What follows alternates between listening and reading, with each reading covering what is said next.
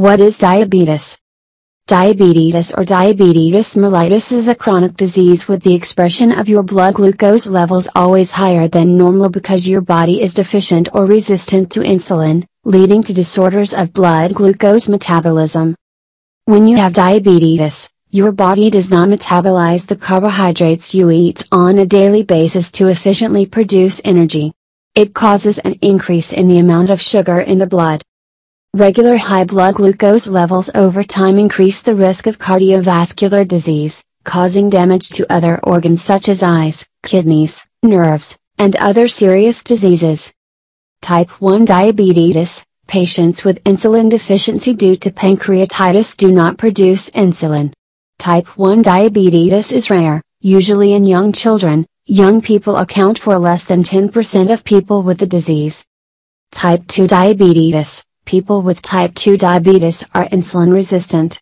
This means that the body can still produce insulin but it cannot metabolize glucose. About 90% to 95% of people with diabetes in the world are type 2. There is another type of type 3 diabetes that many people do not even know they have. And maybe this is why so many people cannot cure diabetes. For decades, people have known only two types of diabetes called type 1 or type 2 diabetes.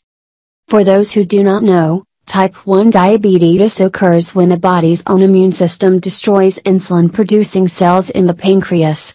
Insulin is responsible for metabolizing sugar. Without insulin, blood sugar levels can soar to an uncontrollable level. This type of diabetes is primarily genetic, so it is quite rare. Type 2 diabetes is more common, it occurs because the body does not produce enough insulin, or does not function properly with the function of insulin, even against the hormone. The result is the same, the body cannot control its blood sugar. The only difference is that people with type 2 diabetes can be affected by all three factors, weight, age, and genetics. In fact, diabetes still has one more type, called type 3C.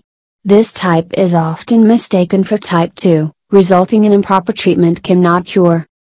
According to a recent study, only 3% of people with type 3C are diagnosed correctly.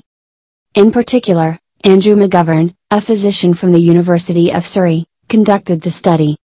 Results show that between 5% and 10% of cases of diabetes in Europe and America are actually type 3C. This means that millions of people around the world are unaware of the real disease.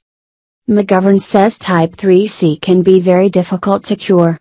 The reason is because different types 1 and 2, 3C occurs because the pancreas is destroyed by many causes, inflammation, cancer, pancreatic surgery. More importantly, the period from the time of injury to the onset of symptoms is quite far, possibly for years. This causes the treatment to be delayed even when the diagnosis is correct. In addition, type 3C also affects the production of key enzymes and hormones in the body. People with type 3C have the ability to control their blood sugar in half the type 2 diabetes, McGovern said. The frequency of their insulin need to increase by 5-10 times, depending on the extent of pancreatic injury. According to McGovern, the study aims to warn the public and the science of a lesser known diabetes that requires further research on it. We need to raise awareness about a common type of diabetes but no one knows about it.